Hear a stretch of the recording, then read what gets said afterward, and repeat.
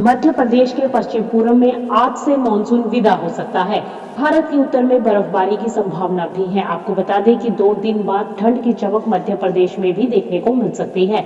मौसम विभाग ने महाराष्ट्र, बिहार, यूपी और बंगाल समेत उत्तर भारत से लेकर मध्य भारत तक हल्की से मध्यम बारिश का पूर्वानुमान जारी किया है। माना जा रहा है कि दक्षिण पश्चिमी मानसून की विदाई में अभी दो से तीन दिन का वक्त लग सकता है।